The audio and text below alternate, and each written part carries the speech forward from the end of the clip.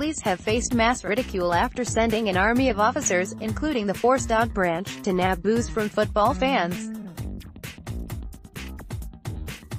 An Ayr United supporters bus was stopped on the A78, as it traveled to Greenock on Saturday.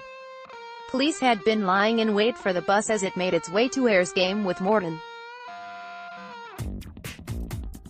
But cops immediately faced flack when parading a small haul of Buckfast, cider and beer on their own Facebook page beside a lineup of patrol cars.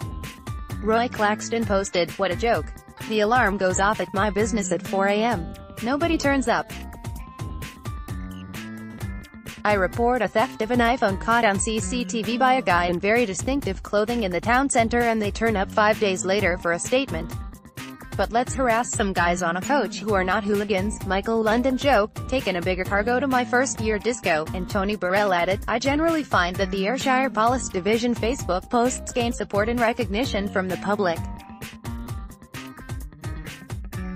This one, however, highlights how resources can be wasted in order to grab a headline, but police defended their large turnout, saying alcohol linked to football places everyone at risk and increases the opportunity for violence and antisocial behavior.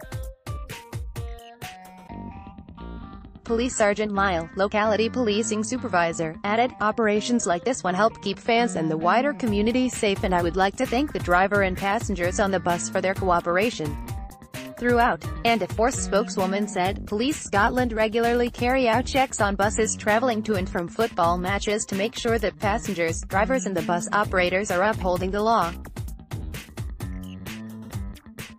Officers seized a significant amount of alcohol from the bus traveling to Greenock yesterday, as well as a quantity of controlled drugs. It is illegal to possess alcohol on a bus being used to transport people to designated sporting events and we will continue to target anyone who ignores the legislation, to ensure people can enjoy football in a safe environment.